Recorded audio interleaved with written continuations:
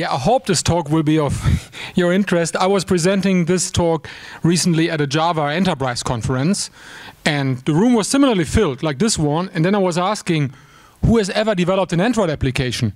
And this talk is about building Android application, and only three people raised their hand. So I don't ask this question here, right? Uh, don't want to insult you, but um, that, that, was interesting. So uh, it's always good to to know your audience at least uh, five minutes before the talk. so, um, which leads me um, to a couple of questions I would like to ask to you. Uh, I, am what I have discovered in the last six months is that the the um, Android community and the classical Java community is more, you know, lives more in a parallel universe than I thought, right? It's just, I, I hear Java enterprise guys saying, well, yes, I think Android is going to be important, right? There, there will be, you know, it will in the future, right? And not realizing, you know, how important that is and uh, how relevant that is. So, so a couple of questions I have. Uh, you're interested in build systems. So who of you is just using the IDE whether that is Eclipse or IDEA to, to build their Android applications. So who of you is using the built-in Ant build? Right? Who of you is using Maven? Okay. So Eclipse and Maven, say 40% and 20%. Okay. My last question.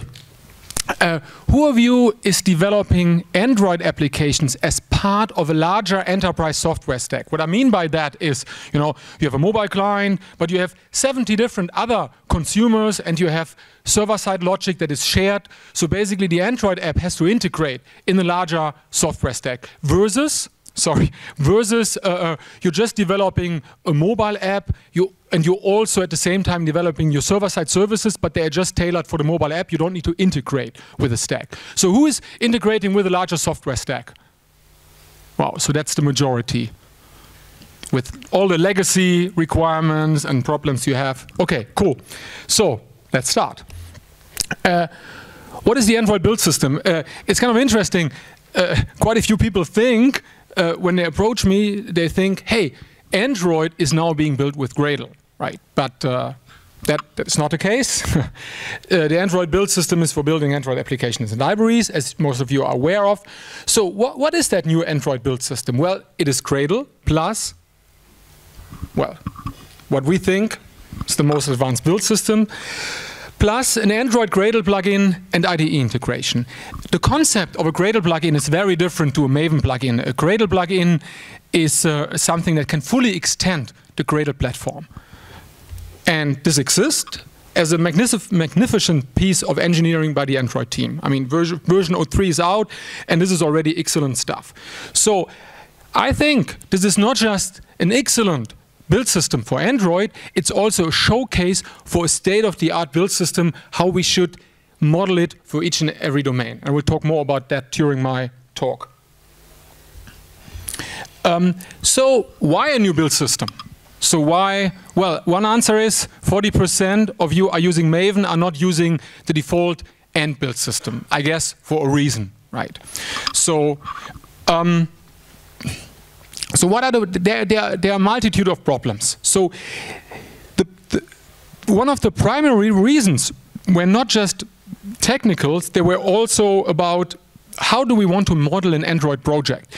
If you look at many a little bit more complex Android projects, you have a you have an explosion of sub-projects. So you have your shared code base, you have your free app, you have your paid app, you have a debug and a and a release uh, configuration, you have possibly an ARM on X, X, 86 customizations. So you have tests for all those. You have a test for your main code base, you need a test for your free version, you need a test for your paid version, which ends up with a complete explosion of sub-projects, which is uh, uh, which is not the right thing. This is a smell. You know, for tiny variants to introduce a sub-project either for your build system or for your IDE is not right right? Uh, if you know the refactoring book, there is the lazy class smell. I call that in the automation domain the lazy project smell. You introduce an abstraction that is not worth it. Uh, with consequences, right? It's, it's, it's much more unwieldy.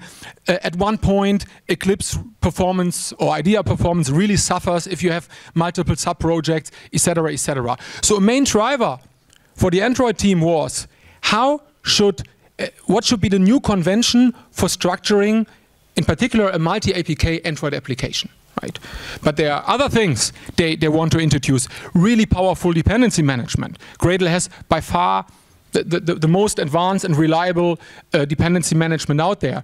They uh, uh, want to have a strong focus on performance, you know, incremental builds, very responsive build system, etc., etc. It should be easily customizable and extendable.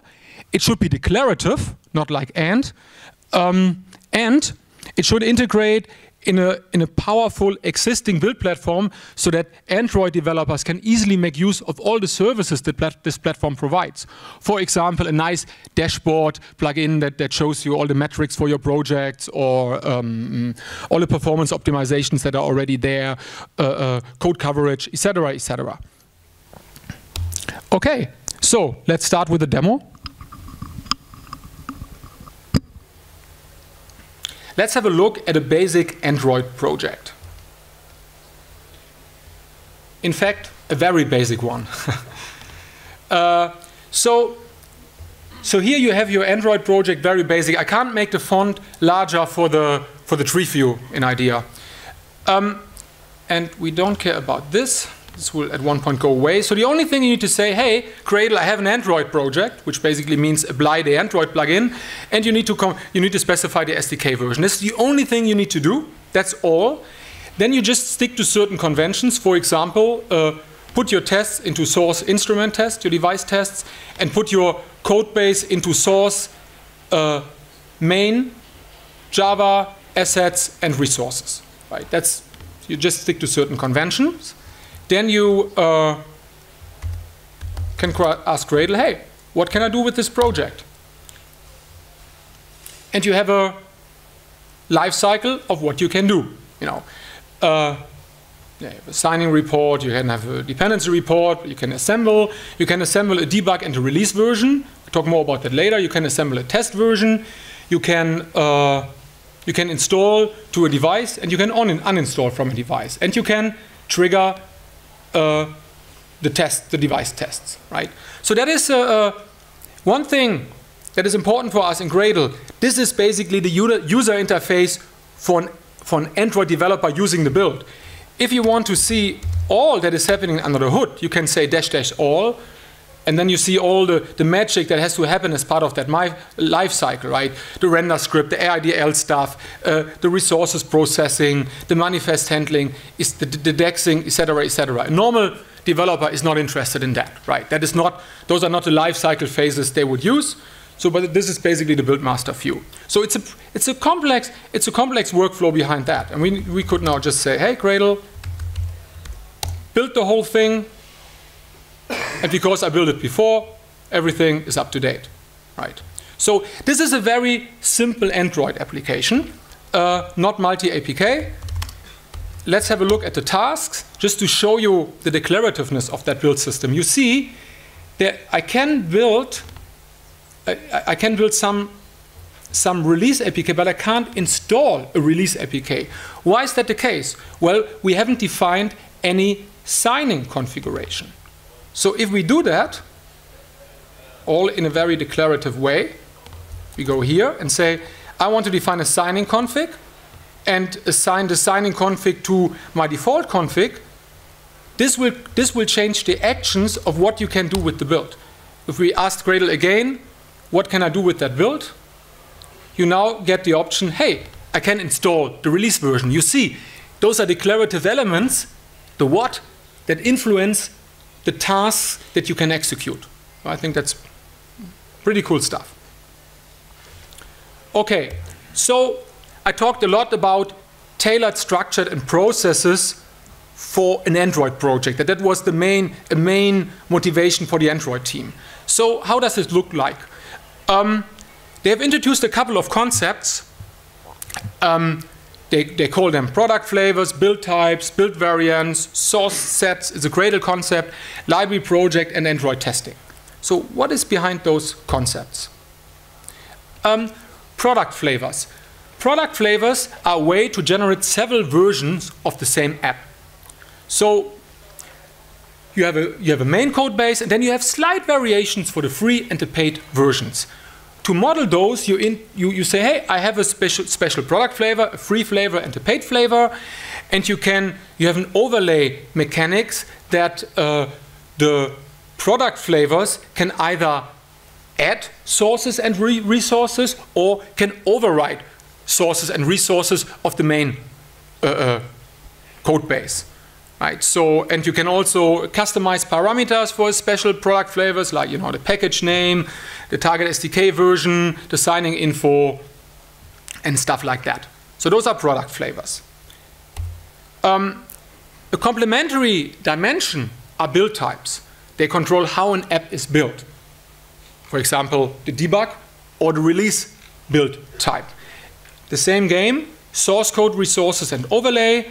Um, you, uh, you can also customize app, different app parameters for the build types, a debug flag, native debug compilation flag, uh, uh, ProGuard options, etc. Uh, as a conventional uh, uh, um, aspect of the Android plugin, debug and release build types are automatically added to the build, right? You can add additional ones, like if you have some staging for your Android app, you could have a, a QA, Q, QA build type or you know uh, uh, capacity testing test type, whatever. Um, so to give you some idea how this looks like, let's have a look at the at a flavored project. And you see you can define product flavors like this and build types define them or configure them like this. And if you look now, you, you always have a main directory for the shared code base. And then you have additional directories uh, uh, for the flavors you have defined, right? So if you define an F1 flavor, you have a dynamic declarative element. If you define an F1 flavor, uh, the Android build system expects you that you put everything that belongs to that flavor into a source F1 directory, the resources and the sources. The same is true for F2. And it also expects that you put the, put the tests for the F2 flavor into an instrument F2 directory. So you just need to stick to certain conventions that are, that are assumed by your dynamic uh, declarative elements, and then you have a full lifecycle process for those, right? You don't need to set up, for example, a test application or test project anymore. The Android manifest is automatically generated for that. Things just work.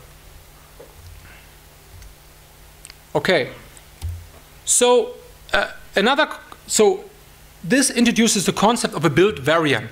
If you have multiple dimensions, you have some, you know, you have some uh, Cartesian, uh, Cartesian processing, and uh, uh, so basically a build variant is, a, is an APK, right? And when you have free and paid and debug and release, you have a free debug APK, a free release APK, paid debug APK, and paid release APK. They're all produced within the same project. Gradle doesn't have any limitations that you can only produce one artifact per project, stuff like that, right? So, and there are rules to manage the overlay. So the build type overlays win over the flavors, and the flavors win over the main.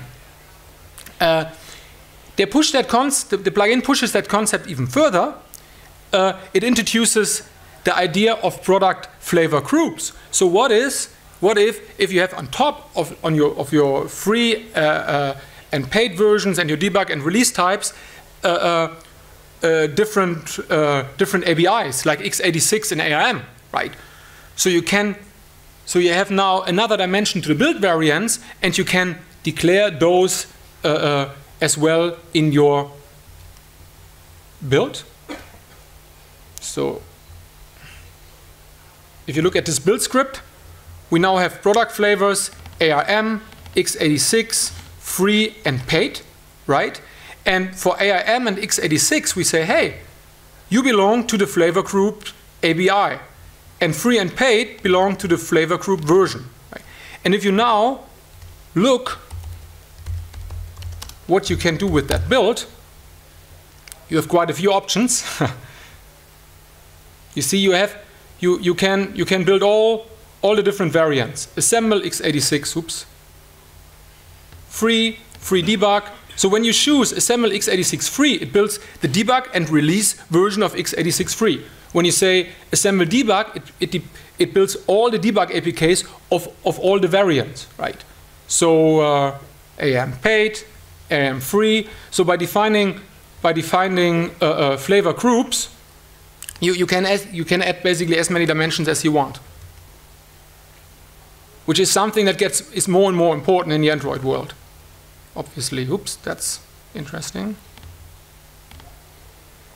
Okay. Um, yeah, all, all those uh, uh, uh, flavors and build types are captured by a concept of a source set.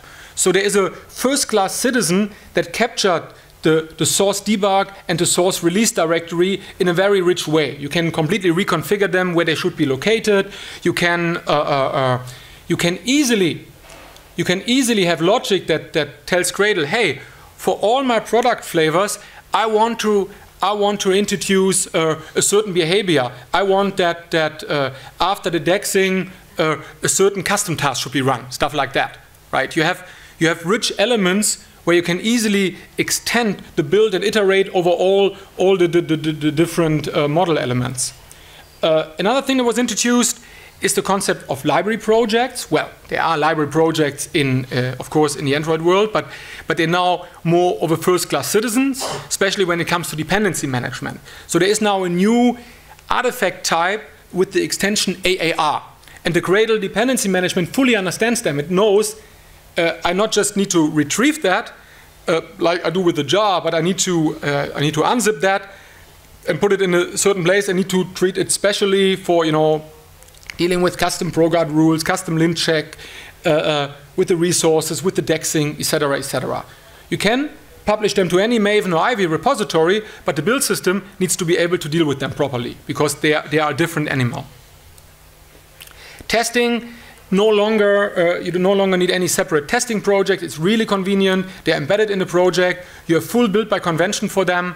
So you just need to stick to the conventions, put your tests in the uh, corresponding directory, and everything works. Right. Uh, and there's also uh, uh, library projects. Testing is also supported in, in a different way than for applications because it's, it's, it's more limited what, what you want to do with the library. Um, okay. So I, have shown already the, the, demos for, for build variants. Um, as, I already, as I already mentioned, dynamic build by convention is, is, a very important concept that you declaratively say, hey, I have a build flavor, and then Gradle under the hood creates all the tasks necessary to deal with that. So those make for really nice, maintainable, readable builds compared to Ant without giving up the flexibility compared to Maven. Uh, that's, that's a key design pattern of that build. Performance is another very, very important aspect. Uh, so uh, I don't have time to show you an incremental build demo. It, that is a uh, that is a key key feature of Gradle that Gradle knows exactly what has changed since the last time you run the build and only executes those tasks that have changed. Right? That is a uh, it's something you would expect in 2013, but it's uh, there's no other system that provides it uh, uh, that provides such a functionality. Definitely not in that quality. And we push that together with the Android team even further. The incremental build in Gradle is a generic feature. So this is not incremental compile or incremental dexing. This is a generic incremental build. In a generic service, Gradle provides to each and every Gradle task that it checks has the input and the output of the task changed since the last time I ran the build? If so, re-execute the task. What we now added uh, uh, in the 1.6 uh, uh, release stream uh, is that the task, if something has changed, can ask Gradle, the build system, hey Gradle, tell me exactly what has changed because I want to be really smart about how uh, uh, I do the rebuilding, I only want to do the rebuilding that is necessary. So there is a generic incremental build service which is binary and tells the, tell the, tells the task, hey, something has changed and something has not changed. well, if something has not changed, it doesn't tell anything the task, it just skips it. But if something has changed, the task can now decide, okay, I do everything from scratch, or I, I do it, I, I, rebuild in an incremental way. Because I know only those uh, classes have changed and, and, only those jars have changed, so I can make a much fast, faster redexing, for example. But this is something that, that applies to everything, to testing, to your custom build logic. It's a big performance saver. Um, another thing uh, uh, Gradle offers is uh, we have many demons, more demons than in Tibetan Buddhism. Uh, so that, that we have a lot of warmed up processes, right, that, that, that just that are long running and just waiting to be asked, and then the responsiveness is like is immediately right. So this is true for the for the Gradle daemon uh, uh, uh, that that that runs the build. That we always have a warm JVM that runs the build, but that is also true for uh, other processors, for our compilers, etc., etc. So that that is another thing where we save where we can save a lot of performance. Right? And many could talk a lot about performance optimizations. And performance optimization is a very important part of the IDE integration story. Um, so um, the vision for the Gradle Android plugin is the following. IDE, you don't need to be a build tool anymore. That's, the, the that's one of the problems they, they have. Uh, uh, uh, the Android team is that they need basically they need to remodel a build system within Eclipse, right? Which then is not customizable, etc., etc. And they, they and their approach is that the IDE shouldn't do any build action. The IDE shouldn't compile. The IDE shouldn't run the tests. The IDE uh, shouldn't do the dexing. The IDE should just visualize that, but the actual action should be done by the build system. I think every platform should have a cooperation like that. Uh, you just need to have build systems that are up to their job, right? For example, that are very responsive and very fast. So, what are the advantages of that? Well, uh, you're much closer to your canonical build that runs on CI. Right? You have a very optimized performance if the build system is implemented right. Uh, you have more automation. Let's, I mean, how often have I seen that people uh, want to execute integration tests from their IDE, uh, but the integration test, they need a certain fixture, so they need, they need to go to the build wiki, need to read which Ant or Maven uh, action they have to execute to create a test fixture. So they do it from the command line, and then they go back to the IDE and run the tests. Right. And if if you delegate the test execution to the IDE, uh, this is something you, you don't need to do anymore. But you need then also a build tool, which Gradle can provide, that sends events to the IDE about the test execution. Hey, I've started to execute that test, I finished with executing that test, so that the IDE can provide the same rich visualization but the build action is done by the build tool. And you get much faster feedback. The more you need to do uh, manually, the less often you do it, the less often you get feedback. So if you think, oh, I should run the IDE, I should run this integration test, and then you think, oh yeah, I have to go to the build wiki, I've forgotten how to set up the fixture. You know what? I run them tomorrow. Let's get some stuff done. And that's not good. Okay. So tool integration is a first-class Gradle citizen. So uh, uh, we want to make it very easy for the IDEs to integrate with the tools. Another aspect of that is that IDEA and Eclipse shouldn't uh, uh have the requirement to implement two IDE integrated build system. They also should both delegate to Gradle via a very good tool integration API we provide which deals with the whole provisioning of the Gradle platform with backwards and forwards compatibility, that you don't need to update your, your IDE plugins if a version of Gradle is changing, uh, uh, that has very tailored models for the IDE so that it's very easy for them to integrate and model an Android project. And uh, another aspect is deep IDE customization. So one thing that is really cool if you have a declarative build system, you can query. You can query the build. There's no way you can ask an Ant build, hey, Ant build, uh, what build flavors do I have? Or what source directories do I have? An Ant build does not know what a source directory is you might pass the Java tasks, right, and then try to heuristically figure that out. So if you have declarative elements, th those are rich containers. Either the, the, IDE or you as a build master can use to ask Gradle, hey, over all my subprojects, give me all uh, uh, the build flavors of type 3. Or an IDE can ask, what are the build flavors, what are the build types, and get an easy answer to model that then in, uh, uh in the IDE. The other thing is you can do with Gradle, you have programmatic access. How the IDE is configured. And when we're talking about that there is a Gradle plugin in the Eclipse ecosystem or in the IDEA ecosystem. And in your build script, you can programmatically influence how this plugin sets your projects up in the IDE, which is, for example, interesting for clients we have with an 800 sub-project build.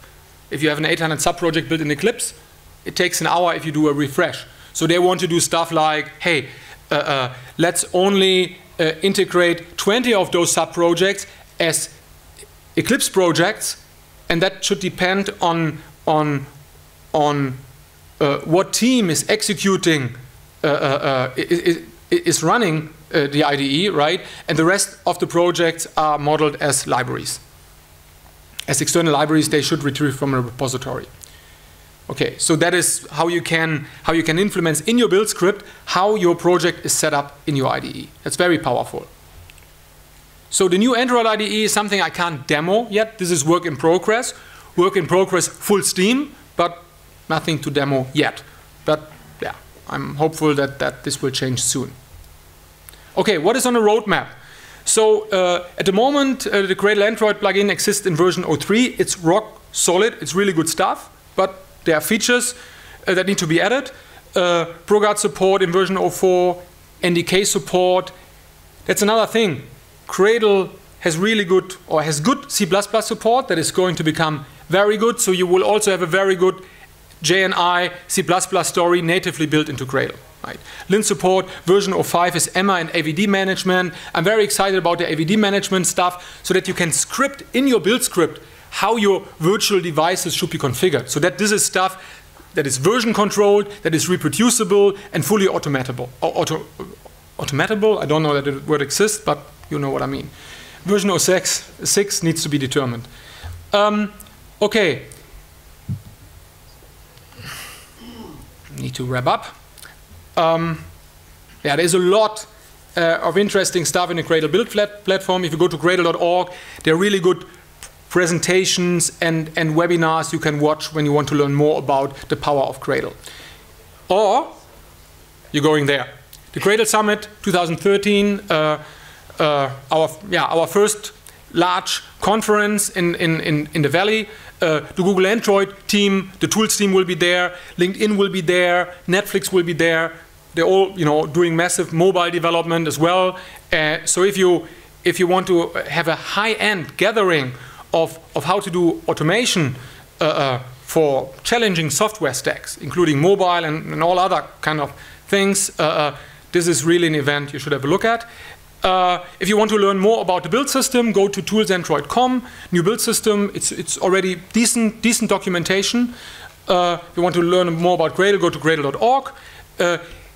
You can also go to uh, uh, mgradleware.com or gradleware.com subscribe if you want to uh, uh, get notified about news around Gradle.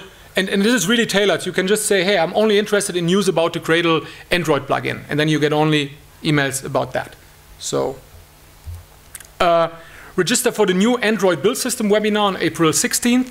I have a little bit more time in that webinar to dive into some of the some of the features the, the really appealing features of Gradle and, and their relevance for Android. Uh, we have scheduled an Android online training, a half-day online training uh, if you're interested, and uh, Gradleware.com provides full set of services for you know the whole continuous delivery and automation domain. So we have yeah we have an excite we have a, an awesome team that is uh, very happy to help you with your with your efforts regarding to improving your continuous delivery process. Of course, that includes Android uh, build automation. Do you have any questions?